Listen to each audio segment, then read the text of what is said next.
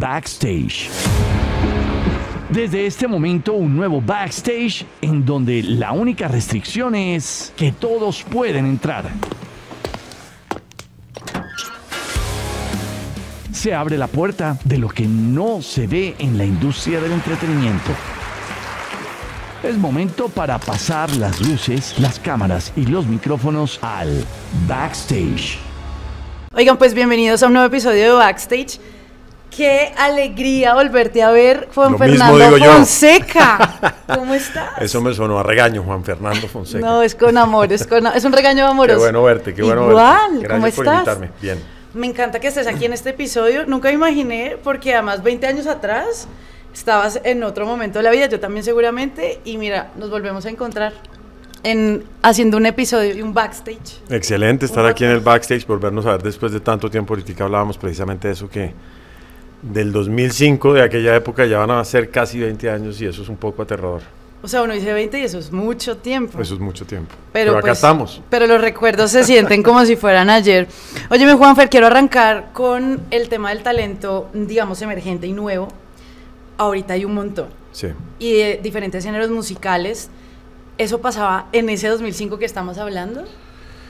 Sí, pero no, no, no tanto. No tanto. No tanto, y, y como lo decías tú ahorita, no tantos géneros. Claro. Que a mí eso es lo que más bacano me parece de lo que está pasando hoy en día con la música colombiana, es ver la cantidad de géneros, porque es que di el género y, y hay propuesta, ¿no? Mejor dicho, es, es- es increíble. A mí, a mí me alegra mucho lo que está pasando con todos los géneros y, y- y en general con la música colombiana. Y fíjate que, am, no sé cómo lo percibas tú, pero digamos que en esa época se unían un montón por el mismo género y como que estaba la diferencia clara de la identidad de cada uno y no pasaba nada si se unían. No sé si con si el género tenga que ver, no me gusta marcarlo en un género, Sí. porque en día todas las fusiones es como, no sabemos qué, qué es, pero de pronto la hermandad era hermosa y con el tiempo hemos aprendido y sobre todo ayer que estábamos hablando de los premios Nuestra Tierra, el gran discurso de todos los artistas posicionados con años de experiencia es la unión, la unión de los artistas y de la música. Entonces yo no sé si en esa época era mucho más fácil que ahora, que ha cambiado. No, sabes que yo, yo creo mucho en, la- en- en las uniones y en las fusiones y en las colaboraciones cuando, cuando son eh, reales, Ya. cuando son... eh, no tiene que ser pues tampoco con el mejor amigo, pero, pero cuando hay como, como cierta química, obvio, admiración, eh, y yo siento que desde esa época hasta ahora, por lo menos en mi caso, eh, siempre lo he visto como, como, como por ese lado. En cuanto a la, la unión y la amistad, digamos, eh, colegaje, por decirlo de alguna manera, también creo que sigue siendo lo mismo. Lo que pasa es que hoy en día hay tanta gente que, que ya no se conoce uno con... Antes de pronto eso sí, como no éramos tantos se pues nos conocían. conocíamos todos, ¿no? Y- Claro. pero a mí, a mí me encanta cuando va uno a, sí, a premios o cosas y, y es una cantidad de gente que, que- estás conociendo en ese momento y, ya todos con unas super carreras, porque sí hay algo muy distinto a lo que, a lo que pasó, digamos, eh, cuando, cuando yo arranqué 2002, digamos que saqué mi primer disco y 2005 que, que lancé mi segundo álbum con Temando Flores.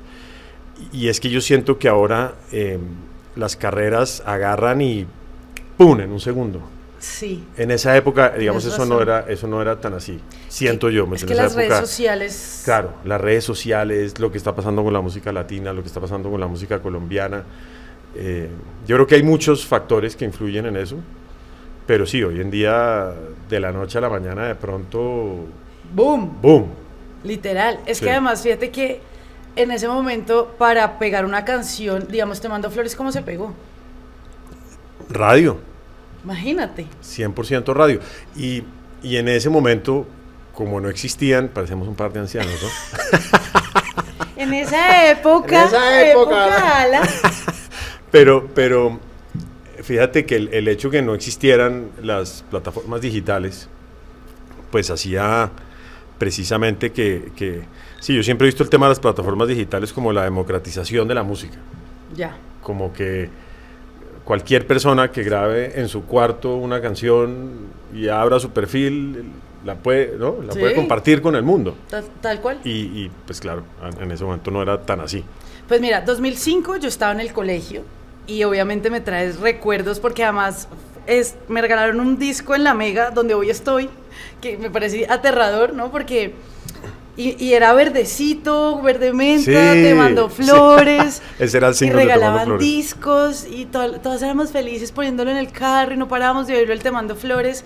Y seguramente, no solamente la forma, tú me dirás, la forma de hacer la música en ese momento era también diferente y la forma en la que hoy se, se viraliza, pues obviamente es, es, otra.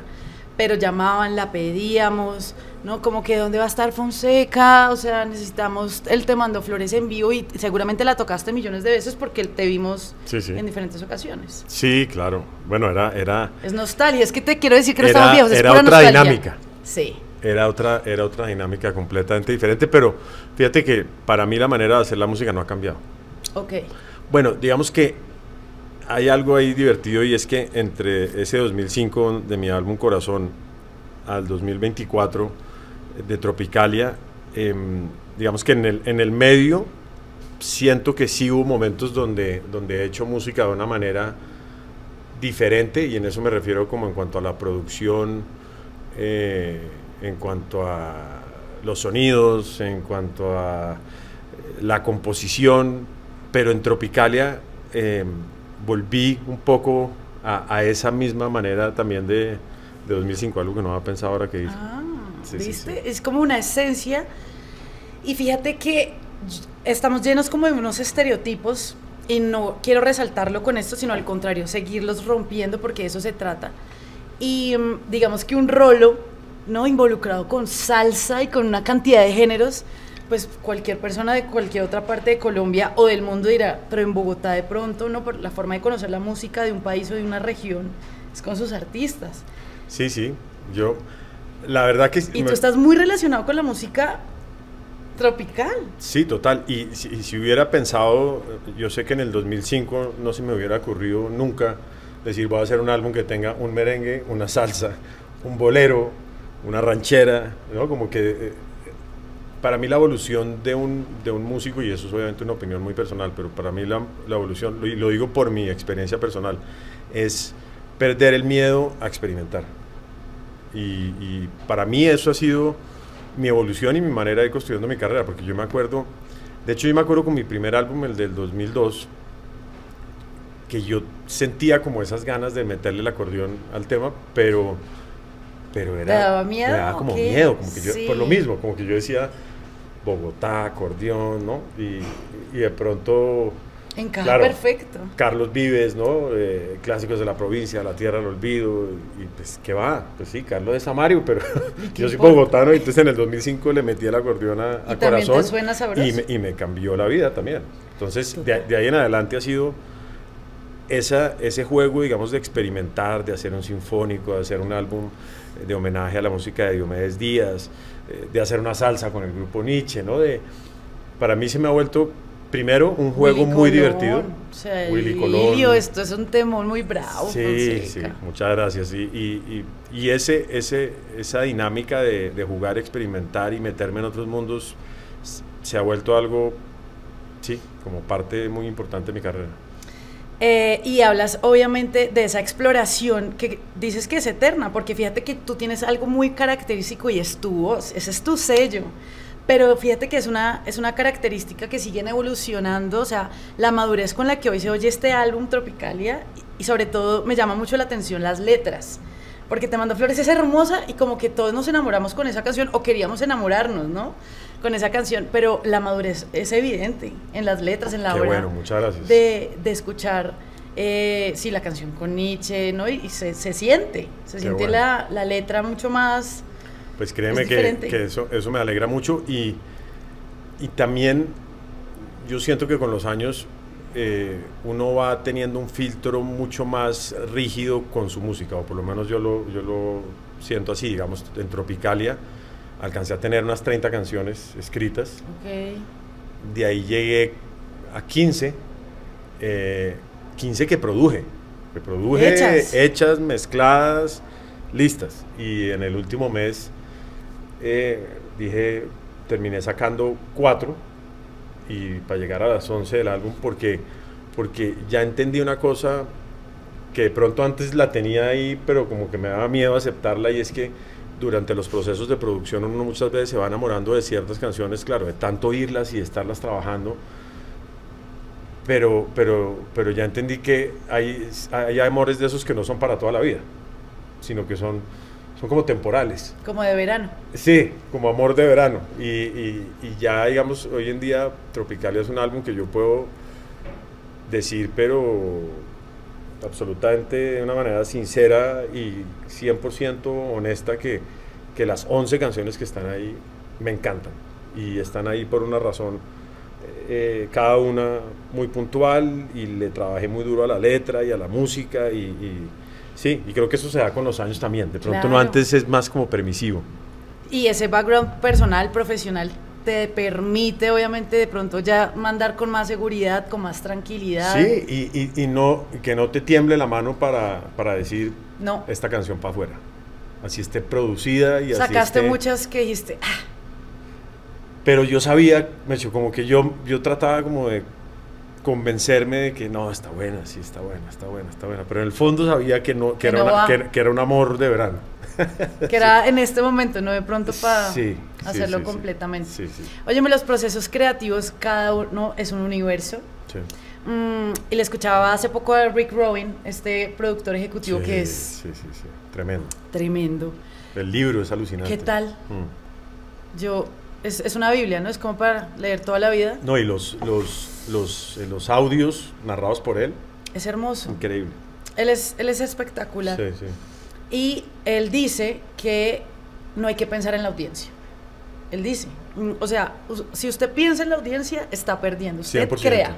100%. crea. Y hace poco salió un artista diciendo, un momento, usted sí tiene que bajar de la montaña, ver a su aldea y saber cómo está, qué siente, qué piensa. ¿Tú qué opinas de eso? ¿Estás pendiente de tu audiencia y sabes qué quiere o realmente no te importa? A ver, ahí, ahí hay, ahí hay varios puntos, Micho. Yo, yo no creo que uno pueda hacer, es más, yo creo que está mal, o por lo menos si uno se sienta a hacer una canción diciendo voy a hacer un hit, yo creo que arrancó mal. Yo creo que el tema tiene que ser una, una, sí, como una intuición y una emoción genuina por hacer una canción que te mueva el piso a ti.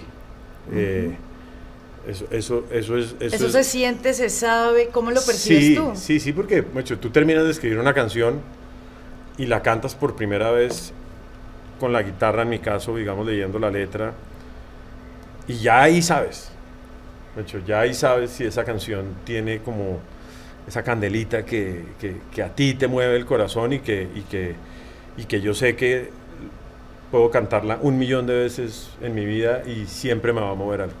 Para mí, para mí eso es muy importante. Ahora, con los años, algo que me ha pasado a mí que, que me emociona demasiado y que se vuelve como una parte fundamental de mi música es ver cómo mis canciones se vuelven parte de la vida de las personas eh, en momentos además muy importantes de compromiso, de amor, de matrimonio, de melancolía, de gratitud, de nostalgia. Y ahí sí creo que, que, que, que de pronto cuando estoy escribiendo una canción con la que estoy conectado, que me mueve el piso, me emociona y me motiva y me inspira eh, buscar esas letras que sé que, que van a seguir conectando con esa gente Como que está conectada con mi mundo. momentos. No sé si Claro. me hago entender, Sí, sí, pero, pero, pero es, un po- es un poquito de los dos mundos. Es un poquito de los dos mundos. A mí, a mí una vez eh, eh, Mark Anthony, que es, que es buen amigo y que es un gran personaje, eh, alguna vez le yo le muestro a veces demos y cosas, y entonces eh, una vez le mostré una vaina rarísima, una vaina medio pop, rock. Ah, yo mostrándole demos X. Y me dice, ¿qué es eso, papito? Entonces le digo, no, pues exploración ahí, no sé qué. No, no, me asustaste. Me dice, y me dijo algo que me, me divirtió mucho.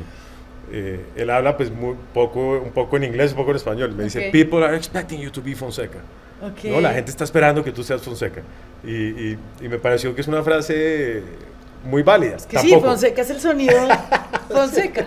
tampoco es que yo me rija por eso, por lo que hablábamos ahorita, que me gusta irme por distintos géneros, pero, pero sí, eso, eso, eso también es cierto. Yo creo que tiene que ser un poquito de los dos mundos. Ok, hablaste de Mark Anthony y me, me, me contaron una historia que, que, que, además contaste tú en un, en un reel hermoso, Ah, en donde sí. le mostraste en el 2002. No, le mandé. Le mandaste la letra de una canción. No, le mandé una canción. Yo escribí una canción que todavía al día de hoy creo que sería increíble en la voz de Mark. En el 2002 le hice un demo y como dije ahí en el reel, la mandé y yo estoy seguro que nunca le llegó. Ni, ni a su equipo ni a nadie. Yo- yo no sé. ¿Nadie la vio? Sí, yo creo que yo la mandé, yo no sé a dónde. Eh, ¿Quién la tendrá? Sí, pero, pero siempre con los años yo, te juro, era como un sueño que yo tenía. Yo decía, yo quiero que Muy algún día. Marc Anthony, y, y de unos años para acá, eh, pues que lo conozco y eso, como también tenía eso en mente, y bueno, se terminó dando con, con esta canción que acaba de sacar en su álbum. eh, Y la escribiste en el 2002. No, no, no, no, no, no. La que escribí en el 2002 la mandé. Y ni idea. Y ni idea. Ah, ok. Y en pandemia con Alex Cuba, Sí. escribimos esta Hermoso. canción y, y la terminó grabando Mark, que yo, yo no puedo creer, pues, la, la oigo y es, es muy emocionante. Y, y es que estás hablando de unos ídolos que yo creo que en los que además tú creciste seguramente y te Sí, sí, inspiraron. no, pues y los que tienes en este álbum, o sea, Nietzsche, Juan Luis Guerra, Alex Cuba, que yo lo descubrí en pandemia.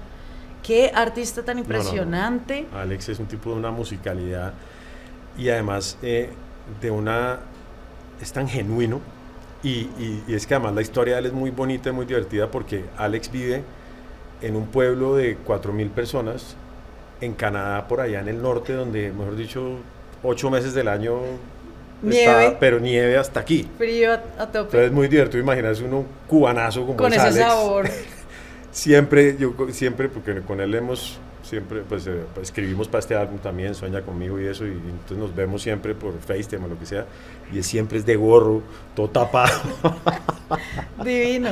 él es lo máximo. Sí, como que trabajar, o sea, Juan Luis Guerra, ¿no? Como que uno dice, Bueno, no, eso ya es... eso es otro, eso es otro, o sea, de verdad. Eso, eso fue muy loco. Tienes un álbum, Eso fue muy loco porque además también lo de Juan Luis, lo de Juan Luis era una, una colaboración que yo llevaba persiguiendo muchos años, pero muchos años. Yo conocí a Juan Luis hace como en el 2007, 2008 en un concierto que nos invitó Marco en Lima y el día antes del concierto hubo un almuerzo en un restaurante y me acuerdo que yo llegué al restaurante y además me tocó sentado al lado de Juan Luis y yo literal no, no, no sabía Tieso. qué decir, tieso. Yo no, que, no como que, que digo, que no digo, que... Wow. Y, y desde entonces él siempre muy, muy especial conmigo, muy generoso con sus palabras en cuanto a mi voz. Eh, y nada, y llevaba, llevaba, llevaba persiguiendo eso hasta que llegó la canción que era y le envié la canción y bueno.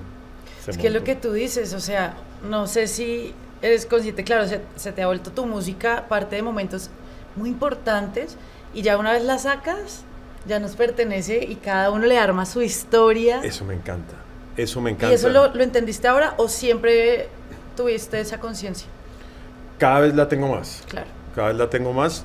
Debo decir que en eso las redes sociales definitivamente juegan un papel importantísimo porque hoy en día el mundo del TikTok, por ejemplo, Tropicalia lleva una semana de lanzado y tú no sabes los miles de videos que me, ahí sí lo que dices tú, uno entrega la música y uno no sabe ya qué más va a pasar y hay una canción dentro del álbum que se llama La psicóloga y tú no sabes los miles de videos de, de psicólogas eh, y de gente dedicándole la canción a su esposa como que se volvió una cosa muy, especial y eso es gracias a las redes sociales, ¿no? Pues ver tú cómo alguien agarra una canción y la vuelve parte de su vida. Y estás pendiente, le echas ojo, Sí. respondes, miras Sí. los números y cómo van las cosas, o estás Eh, Al margen. Sí. iba, iba a tratar de decir que no, pero sí. Pues sí, si no, es que conectar con las redes es No, no, no, eso es- est- estamos atrapados en las redes. tal cual. Y además, los que, Es muy bien puesto el nombre. los que estamos eh, como en el cambio, ¿no? Los que nos- no crecimos y- o no nacimos con eso, Ah, sí.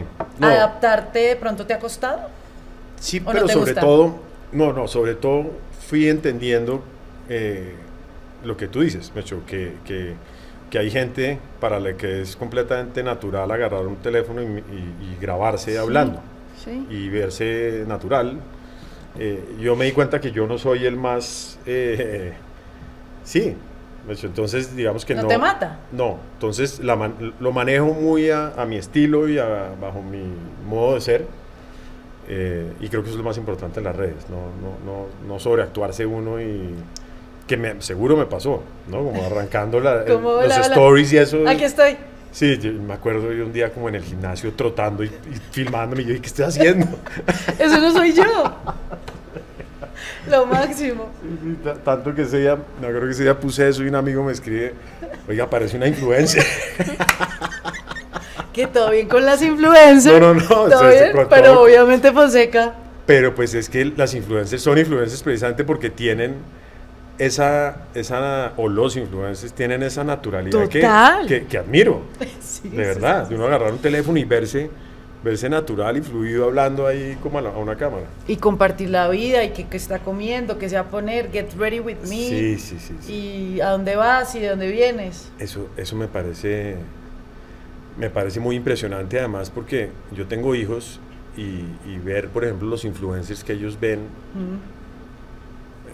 Es muy loco porque, porque pues ellos ven otro tipo, digamos, de personajes que, que, que han hecho su vida de ser influencers y de estar todo el día haciendo retos y cosas en la casa y llenando la piscina de no, Sí, no sí, sé sí. qué y no y sí es, es- Y seguramente uno ahí también se alimenta de cosas, ¿no? Como que empiezas a conocer otras cosas por medio de tus hijos. Sí, sí, aunque pues sí trato mucho como de, de, de- de cuidarles como el contenido. Claro. Porque, porque me preocupa un poco que crean que, el- que el- que la vida puede ser solo eso, ¿no? De Mucho, yo creo que está bien, ese es el mundo en el que viven, tampoco los voy a aislar, pero, pero sí, hay que ir ahí como... Mesurado. Sí, Óyeme, las primeras veces en, en una carrera musical tiene que ser todo el tiempo. Y, y- y la vida, pues obviamente desde que eres artista te cambió, yo creo. Te mando flores, te cambió, 100%. te cambió la vida. Y pasas como de ser un artista que en Colombia muy fuerte. ¿Cuál es la diferencia en el momento que tú dices, cuando dice Fonseca se internacionalizó? Esa palabra es como, se nos fue. O sea, se fue para el mundo la música. Ahí, ¿qué, o sea, ¿qué pasa? ¿Cuál es la línea que se cruza para tú decir, estoy afuera, me cambió la vida, realmente hoy me levanté y Fue así, fue así y, y con Santiago Cruz siempre hemos tenido esa, eh, esa, esa, no discusión, sino, me acuerdo algún día lo hablamos y, y a los dos nos quedó como muy marcado. Todo está a una canción de distancia. claro, Mucho, llega esa canción y literal, mucho, yo me acuerdo, además lo más loco es que Te Mando Flores no iba a ser la canción con la que yo iba a lanzar ese álbum. La canción iba a ser una canción que escribió un compositor de Valledupar. Yo grabé la canción, la tenía lista, íbamos a salir con esa y se la mostré al compositor de Valledupar. Y el día que la oyó, me llama al otro día y me dice, compadre, siento mucho decirte eso, pero yo voy a, a grabar esa canción. El man se emocionó de oírla porque era una muy mucho. buena canción. Le dije, no me puedes hacer esto, macho, yo ya estoy listo, la disquera está lista, lo siento mucho, no la puedes sacar. Y la disquera me dice en ese momento, tienes que, macho, tu, tu spot para sacar el primer single de tu próximo álbum, que era mi primer álbum con esa disquera, es tal fecha y si no sales ahí, toca esperar seis meses más porque tenemos tantos lanzamientos y yo, mierda, ¿qué voy a hacer? Me voy para el estudio donde Bernardo Osa, que era el productor con el que trabajé pues, todos esos discos, y Bernardo me dice a mí, pues sal con Te Mando Flores. Y, y yo le digo a Bernardo, esa no es una canción para lanzar un disco. Lo que no sabíamos. y salimos con esa canción y, como dices sea, tú, me el- cambió la vida. Te cambió la vida. El- Fue o una sea, este artista te hizo un favor. Me hizo un favor. Es increíble. O sea, Sí. lo que pudo haberse Gracias. visto. Gracias. Nunca lo había visto así. Te hizo, claro, lo que pudo haberse visto como un error, te, te dio lo más grande que te pudo haber dado, que fue te mando flores. Pero 100%. Además porque la manera entre el afán y la angustia, porque a mí me acaba de firmar esa disquera, o sea, yo, ellos están pagando la producción. Y de pronto yo decirles qué pena no podemos salir con esa y me dicen, pero ¿cómo así? Ya lo hicimos, ya lo... eh, y voltean todo. y se voltea toda la vaina y literal me dijeron, bueno, sea lo que sea con lo que vaya a salir, tiene que entregarlo Tal en fecha. cinco días. Y Te Mando Flores no estaba terminada. O sea, corrieron para... No, si no es porque además Bernie me dice a mí, oye, te mando flores, entonces dije, bueno, voy a confiar como en, la intuición de Bernie, vamos con Te mando flores. Me acuerdo que me fui para la casa, me dijo, lo único es que tienes que ponerle algo al final, eh, porque todavía no está terminada. Y me voy para casa y me siento y empiezo a pensar como en todo ese pregón, digamos, de final de Te mando flores para que adornes tu casa. Y bueno, y, y me siento con Juliana, mi esposa, en ese momento mi novia, em, y ella me ayudó a escribir la- e- esa parte, porque Te mando flores es para ella. Y al final por eso hice la Margarita que se llame, y como que dijimos, no, ya demasiado la Margarita que se llame Juliana. Juliana. Entonces dejemos eso abierto. Y, y en el estudio grabando 4 de la mañana ya había que cerrar la canción y de pronto fue como que, bueno, ¿qué? No, pues Mariana. A mí todo el Mariana mundo me pregunta. ¿pero por qué Mariana? Y yo, Mariana es Juliana. Mariana es Juliana. Sí. Mariana se llama Juliana. Sí. wow. Y, después ha habido muchas historias muy impactantes con, con el Mariana, pero, pero sí, así llega Mariana. Óyeme, ¿y las primeras veces con Tropicalia o sigue siendo la misma dinámica a la hora de lanzar un álbum o de hacer un sinfónico, de hacer un concierto? O sea, siempre yo creo que te encuentras con nuevos retos y nuevas experiencias y nuevas primeras veces. Sí, claro. Y Tropicalia, sin duda, porque este álbum tiene algo muy especial eh, para mí, digo, y es que el proceso fue completamente al revés de como yo he hecho eh, los álbumes en mi, en mi carrera, porque para mí siempre es al final eh, que, que me meto en encontrarle el nombre al álbum. Y, y siempre es, es un poquito un dolor de cabeza porque, porque me demoro mucho encontrando esa palabra que para mí escriba no solamente el álbum, sino el momento de vida y bueno. Soy Concepto. sí, soy muy trascendental con el tema del nombre del álbum. Ok. Y Tropicalia fue al revés. Tropicalia, em, yo dije, yo quiero hacer un álbum tropical, pero pues no lo quiero que, no quiero que se llame tropical. Entonces pensé Tropicalia, pero pues sabía que existe este movimiento de la música brasilera, eh, como de los años 70, que se llamaba Tropicalia.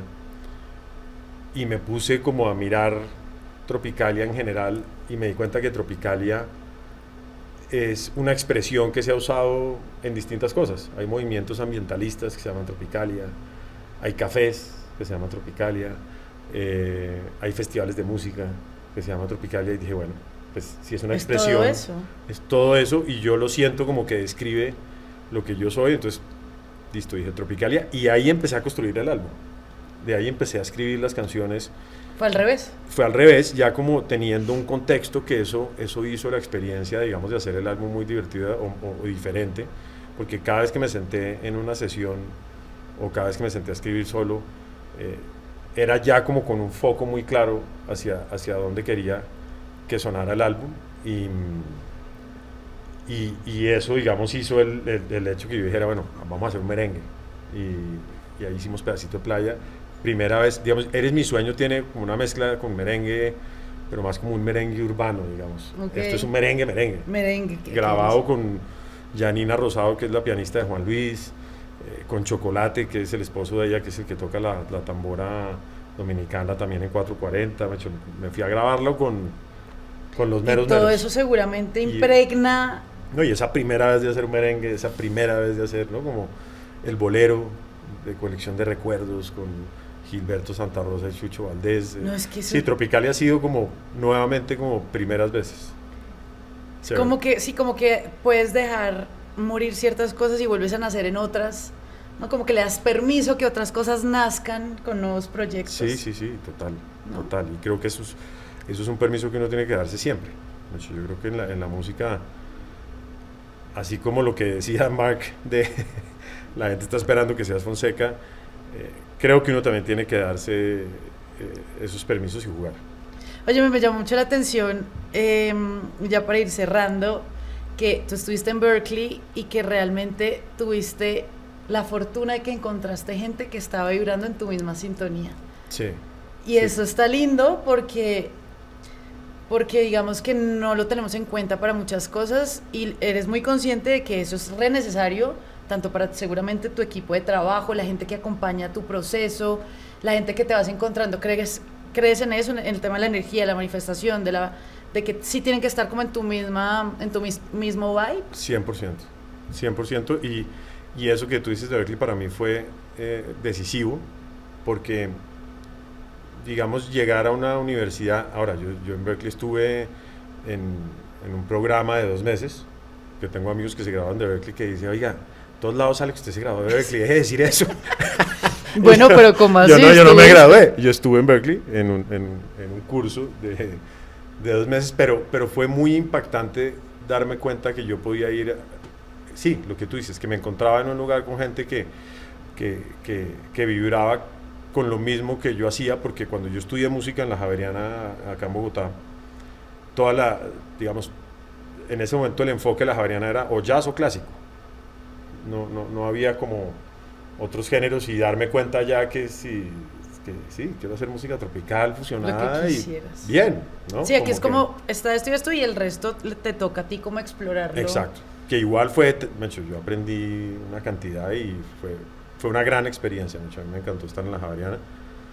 Pero, pero sí, lo de Berkeley definitivamente fue, y, y, para la vida, lo que, lo que dices también es muy cierto. Mucho. Yo, digamos, en el equipo de trabajo, en la banda, más allá de virtuosismo, busco conexión y buena onda. Mm. ¿no? Yo creo que, sobre todo porque nos la pasamos de viaje, eh, entonces es, es, mucho más importante la buena onda que encontrarse a los genios en el camino y, y así hemos construido una familia. ¿Qué has oído aparte de Tropicalia por estos días que quieras recomendar o que tengas por ahí en tu radar? No sé si eres con la música que le das play, play hasta que... Sí, sí, sí, claro que sí. A ver, me encanta, me encanta Duplat. ¿Qué tal? Es un genio, es fantástico. Sí, además me encanta todo el look todo y la película y la vuelta. Todo chapinero. Sí, sí, total. Me encanta Duplat y me encanta, me encanta el, álbum que le produjo Daniel Álvarez. Eh, Elefante se llama, si no estoy mal. Ok. Eh, Daniel del Diamante. De Diamante Eléctrico. Eh, sí, me gusta mucho la música de Daniel también. La música de él solo, pues. Ahorita el álbum que se hizo instrumental. Y, no, es que Daniel es. Sí, me encanta. Es genio. Me encanta su. Yo trabajé, trabajamos juntos varios años y le tengo muchísimo cariño, es un gran amigo. Pero, pero sí, me encanta esa, esa, esa unión que hizo con Duplat y Duplat me parece un personaje increíble hay que recomendar a Duplat y que oigan, me parece que es importante porque a veces faltan oportunidades, Juanfer, a veces falta oportunidades de que eh, me gusta que los artistas ya posicionados como tú que llevan una trayectoria divina y, muy larga traigan a los artistas nuevos también a, que, a, estas oportunidades a, exponerse y también los nuevos que también llevan un poquito menos de tiempo traigan a los de, de, siempre otra vez a que otras generaciones los conozcan. Creo que eso se trata de este círculo, ¿no? Total, Total, y es muy bonito cuando tú sientes que puedes contribuir y realmente hacer un impacto. A mí, a mí me alegró mucho para la gira de viajante en, en Colombia, en Venezuela y parte de la de Estados Unidos. Eh, tuve, tuve como invitada especial a una artista eh, venezolana que es increíble, que es Joaquina, que se ganó el Latin Grammy como mejor nueva artista, pero en ese momento estaba ella pues muy, muy arrancando y fue muy bonito poder aportar a mm. alguien al, que tú, yo me acuerdo Joaquina desde que yo la empecé a oír por primera vez así cantando con una guitarra, yo decía, esto es alucinante, esta niña es de verdad algo muy especial y pues ha hecho una carrera muy bonita en el corto tiempo que lleva, ¿no? porque no lleva mucho, pero, pero, pero ha hecho ya unas cosas increíbles y, se siente muy bien, se siente, es, gratificante haber podido contribuir con algo. Entonces, siempre, siempre de alguna manera también busco eh, eso en los momentos. Eso está muy lindo. Juanfer, me encantó volverte a ver. Lo mismo. Espero no pasen 20 años, porfa. Por favor. O sea, 20 años para volverte a ver, pero que valga la pena, ¿no? Sí, sí, que valga la pena. Eh, obviamente Tropicalia está tremendo. Muchas gracias. Y gracias y que traigas mucha más música para tener más historias que contar. Seguiremos. Gracias a ti. A ti. Muchas por gracias. este episodio de Backstage. Backstage. Desde este momento un nuevo backstage en donde la única restricción es que todos pueden entrar. Se abre la puerta de lo que no se ve en la industria del entretenimiento. Es momento para pasar las luces, las cámaras y los micrófonos al backstage.